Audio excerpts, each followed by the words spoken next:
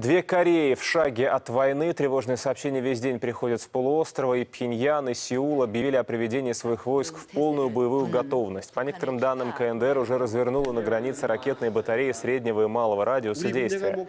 Самое серьезное за последние годы обострение конфликта началось накануне, когда стороны обменялись артиллерийскими залпами. При этом оба государства отрицают, что открыли огонь первыми.